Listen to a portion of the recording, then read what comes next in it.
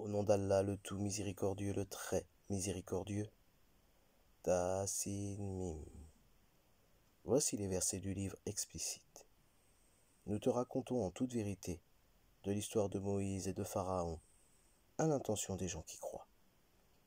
Pharaon était hautain sur terre. Il répartit en clans ses habitants, afin d'abuser de la faiblesse de l'un d'eux. Il égorgeait leurs fils et laissait vivantes leurs femmes. Il était vraiment parmi les fauteurs de désordre. Mais nous voulions favoriser ceux qui avaient été faibles sur terre, et en faire des dirigeants, et en faire des héritiers, et les établir puissamment sur terre, et faire voir à Pharaon, à Haman et à leurs soldats ce dont ils redoutaient. Et nous révélâmes à la mère de Moïse ceci. Allaite-le, et quand tu craindras pour lui, jette-le dans le flot, et n'aie pas peur, ne t'attriste pas. Nous te le rendrons, et ferons de lui un messager. Les gens de Pharaon le recueillirent pour qu'il leur soit un ennemi et une source d'affliction. Pharaon, Haman et leurs soldats étaient fautifs. Et la femme de Pharaon dit, Cet enfant réjouira mon œil et le tien, ne le tuez pas. Il pourrait nous être utile, ou le prendrons-nous pour enfant Et il ne pressentait rien. Et le cœur de la mère de Moïse devint vide. Peu s'en fallut qu'elle ne divulguât tout, si nous n'avions pas renforcé son cœur pour qu'elle restât du nombre des croyants. Elle dit à sa sœur, Suis-le. Elle l'aperçut alors de loin, sans qu'il ne s'en rende compte. Nous lui avions interdit auparavant le sein des nourrices. Elle, la sœur de Moïse, dit donc Voulez-vous que je vous indique les gens d'une maison qui s'en chargeront pour vous, tout en étant bienveillants à son égard Ainsi, nous le rendîmes à sa mère, afin que son œil se réjouisse, qu'elle ne s'affligea pas, et qu'elle sût que la promesse d'Allah est vraie.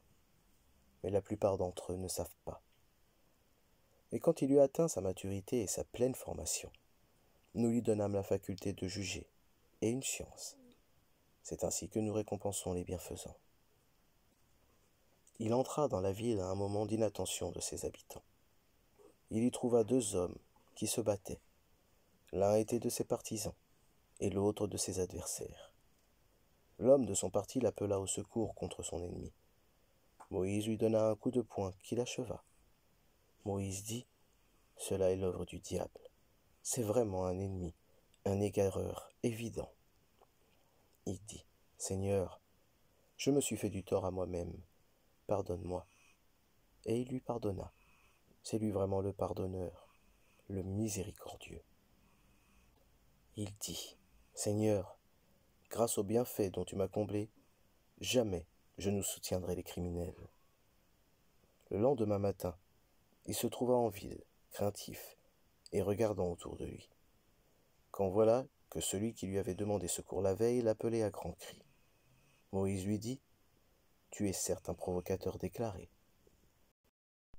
Quand il voulut porter un coup à leur ennemi commun, l'Israélite dit Ô Moïse, veux-tu me tuer, comme tu as tué un homme hier Tu ne veux être qu'un tyran sur terre, et tu ne veux pas être parmi les bienfaiteurs? Et c'est alors qu'un homme vint du bout de la ville en courant et dit Ô Moïse, les notables sont en train de se concerter à ton sujet pour te tuer. Quitte la ville, c'est le conseil que je te donne. Il sortit de là, craintif, regardant autour de lui. Il dit Seigneur, sauve-moi de ce peuple injuste. Et lorsqu'il se dirigea vers Madiane, il dit Je souhaite que mon Seigneur me guide sur la voie droite. Et quand il fut arrivé au point d'eau de Madiane, il y trouva un attroupement de gens, abreuvant leurs bêtes, et il trouva aussi deux femmes se tenant à l'écart et retenant leurs bêtes. Il dit, Que voulez-vous? Elles dirent, Nous n'abreuverons que quand les bergers seront partis, et notre père est fort âgé. Il abreuva les bêtes pour elles, puis retourna à l'ombre et dit, Seigneur, j'ai grand besoin du bien que tu feras descendre vers moi. Puis, l'une des deux femmes vint à lui, d'une démarche timide, et lui dit Mon père t'appelle pour te récompenser pour avoir abreuvé pour nous. Et quand il fut venu auprès de lui, et qui lui eut raconté son histoire, le vieillard dit N'aie aucune crainte, tu as échappé aux gens injustes. L'une d'elles dit Oh mon père, engage-le à ton service, moyennant salaire, car le meilleur à engager, c'est celui qui est fort et digne de confiance. Il dit Je voudrais te marier à l'une de mes deux filles que voici, à condition que tu travailles à mon service durant huit ans. Si tu achèves dix, ce sera de ton bon gré. Je ne veux cependant rien t'imposer d'excessif. Tu me trouveras, si Allah le veut, du nombre des gens de bien. C'est conclu entre toi et moi, dit Moïse. Quel que soit celui des deux termes que je m'assigne, il n'y aura nulle pression sur moi. Et Allah est garant de ce que nous disons. Puis, lorsque Moïse eut accompli la période convenue, et qu'il se mit en route avec sa famille, il vit un feu du côté du mont. Il dit à sa famille, Demeurez ici. J'ai vu du feu. Peut-être vous en apporterai-je une nouvelle ou un tison de feu, afin que vous vous réchauffiez. Puis, quand il y arriva, on l'appela, du flanc droit de la vallée, dans la place bénie, à partir de l'arbre. Ô Moïse, c'est moi, Allah, le Seigneur des mondes. Et jette ton bâton. Puis, quand il le vut remuer comme si c'était un serpent, il tourna le dos sans même se retourner. Ô Moïse, approche et n'aie pas peur. Tu es de nombre de ceux qui sont en sécurité. Introduis ta main dans l'ouverture de ta tunique. Elle sortira blanche, sans aucun mal. Et serre ton bras contre toi pour ne pas avoir peur. Voilà donc deux preuves de ton Seigneur pour Pharaon et ses notables. Ce sont vraiment des gens pervers. Seigneur, dit Moïse, j'ai tué un des leurs et je crains qu'il ne me tue. Mais Aaron, mon frère, est plus éloquent que moi. Envoie-le donc avec moi comme auxiliaire, pour déclarer ma véracité. Je crains vraiment qu'il ne me traite de menteur. Allah dit nous allons par ton frère fortifier ton bras et vous donner des arguments irréfutables. Ils ne sauront vous atteindre grâce à nos signes, nos miracles. Vous deux et ceux qui vous suivront seront les vainqueurs. Puis, quand Moïse vint à eux avec nos prodiges évidents, ils dirent Ce n'est là que magie inventée. Jamais nous n'avons entendu parler de cela chez nos premiers ancêtres. Et Moïse dit mon Seigneur connaît mieux qui est venu de sa part avec la guidée, et à qui appartiendra la demeure finale. Vraiment, les injustes ne réussiront pas. Et Pharaon dit, Ô notable, je ne connais pas de divinité pour vous autre que moi. Haman, allume-moi du feu sur l'argile, puis construis-moi une tour. Peut-être alors monterai-je jusqu'au Dieu de Moïse. Je pense plutôt qu'il est du nombre des menteurs et il s'enfla d'orgueil sur terre, ainsi que ses soldats, sans aucun droit. Et ils pensèrent qu'il ne serait pas remené vers nous. Nous le saisîmes donc ainsi que ses soldats, et les jetâmes dans le flot. Regarde donc ce qu'il est advenu des injustes. Nous fîmes d'eux des dirigeants qui appellent les gens au feu. Et au jour de la résurrection, ils ne seront pas secourus. Nous les fîmes suivre dans cette vie ici-bas d'une malédiction. Et au jour de la résurrection, ils seront parmi les honnis. Nous avons en effet donné le livre à Moïse, après avoir fait périr les anciennes générations, en tant que preuve illuminante pour les gens, ainsi que guidée et miséricorde afin qu'ils se souviennent. Tu n'étais pas sur le versant ouest du Sinaï quand nous avons décrété les commandements à Moïse. Tu n'étais pas parmi les témoins. Mais nous avons fait naître des générations dont l'âge s'est prolongé. Et tu n'étais pas non plus résident parmi les gens de Madiane, leur récitant nos versets. Mais c'est nous qui envoyons les messagers. Et tu n'étais pas au flanc du mont Thor quand nous avons appelé. Mais tu es venu, comme une miséricorde de ton Seigneur, pour avertir un peuple à qui nul avertisseur avant toi n'est venu, afin qu'ils se souviennent. Si un malheur les atteignait en rétribution de ce que leurs propres mains avaient préparé, ils diraient Seigneur, Pourquoi ne nous as-tu pas envoyé un messager? Nous aurions alors suivi tes versets, et nous aurions été croyants. Mais quand la vérité leur est venue de notre part, ils ont dit, si seulement il avait reçu la même chose que Moïse. Est-ce qu'ils n'ont pas nié ce qui auparavant fut apporté à Moïse? Ils dirent, deux magies se sont mutuellement soutenues. Et ils dirent, nous n'avons foi en aucune. Dis-leur, apportez donc un livre venant d'Allah qui soit meilleur guide que ces deux-là, et je le suivrai si vous êtes véridique. Mais s'ils ne te répondent pas, sache alors que c'est seulement leur passion qu'ils suivent. Et qui est plus égaré que celui qui suit sa passion sans aucune guidée d'Allah? Allah vraiment ne guide pas les gens injustes. Nous leur avons déjà exposé la parole, afin qu'ils se souviennent. Ceux à qui avant lui nous avons apporté le livre y croient. Et quand on le leur récite, ils disent Nous y croyons. Ceci est bien la vérité émanant de notre Seigneur. Déjà avant son arrivée, nous étions soumis. Voilà ceux qui recevront deux fois leur récompense pour leur endurance, pour avoir répondu au mal par le bien, et pour avoir dépensé de ce que nous leur avons attribué. Et quand ils entendent des futilités, ils s'en détournent et disent À nous nos actions et à vous les vôtres. Paix sur vous. Nous ne recherchons pas les ignorants. Tu ne diriges pas celui que tu aimes, mais c'est Allah qui guide qui il veut il connaît mieux cependant les bien guidés. Et ils dirent, si nous suivons avec toi la bonne voie, on nous arrachera de notre terre. Ne les avons-nous pas établis dans une enceinte sacrée, sûre, vers laquelle des produits de toutes sortes sont apportés comme attribution de notre part? Mais la plupart d'entre eux ne savent pas. Et combien avons-nous fait périr de cités qui étaient ingrates alors que leurs habitants vivaient dans l'abondance? Et voilà qu'après eux, leurs demeures ne sont que très peu habitées. Et c'est nous qui en fûmes héritiers. Ton Seigneur ne fait pas périr de cités avant d'avoir envoyé dans leur métropole un messager pour leur réciter nos versets.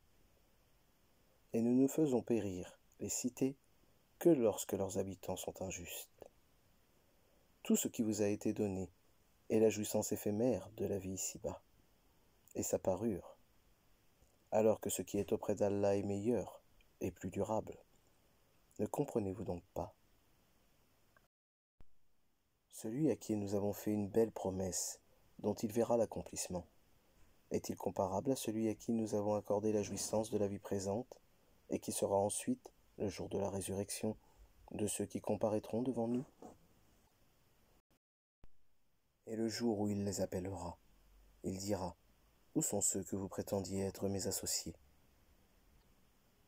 Ceux contre qui la parole se réalisera diront Voici, Seigneur, ceux que nous avons séduits. Nous les avons séduits comme nous nous sommes dévoyés nous-mêmes.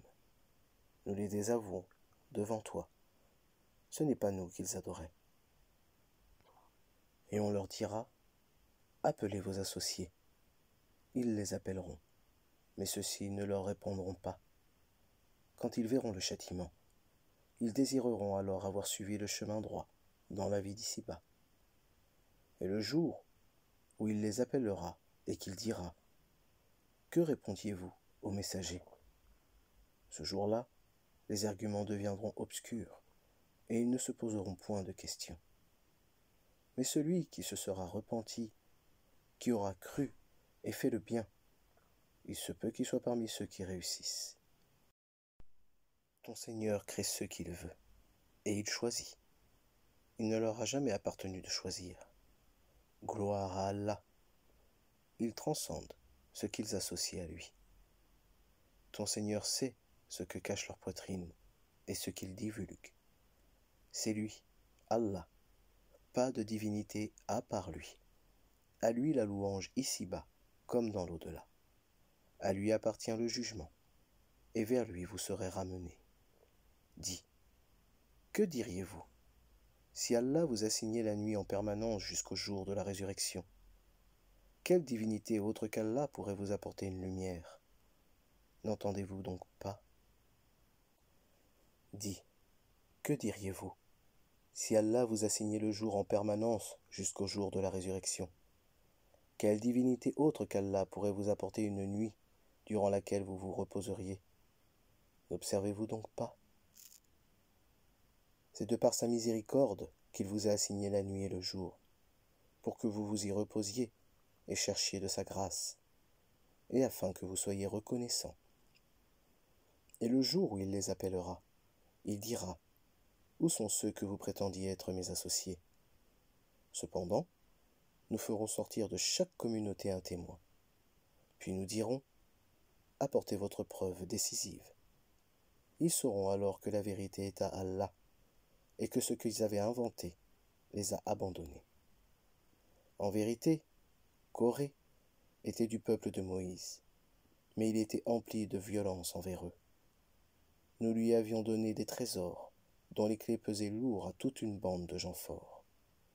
Son peuple lui dit Ne te réjouis point, car Allah n'aime pas les arrogants. Et recherche, à travers ce qu'Allah t'a donné, la demeure dernière.